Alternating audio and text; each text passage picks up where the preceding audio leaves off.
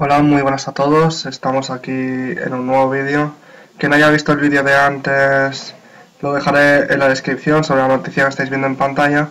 Pero mientras lo iba haciendo unos momentos antes me he acordado de que debería de haceros un vídeo sobre mi opinión sobre que salga Black Ops 3 en antigua generación. Y mi opinión directamente es que sí que lo harán, más que nada por el dinero.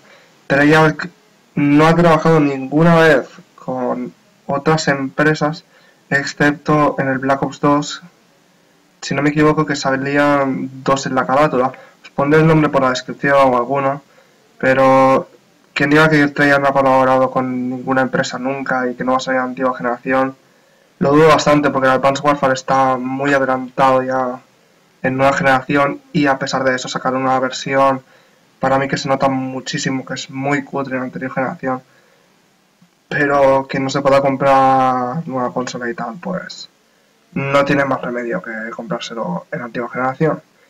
Recordemos que el precio de Play 4 sigue siendo 400 euros, a menos que encuentres alguna oferta con algún juego, lo más seguro 400 con un juego, pero sigue siendo muy caro comparado con, con la antigua generación, con Play 3 o la...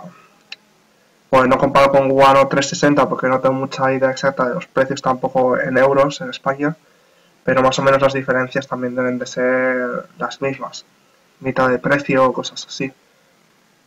Así que nada, espero que os haya gustado la noticia, como digo, cualquier detalle me lo ponéis en la descripción, vuestra opinión, dejar un me gusta si os ha gustado el vídeo y nos vemos en la próxima.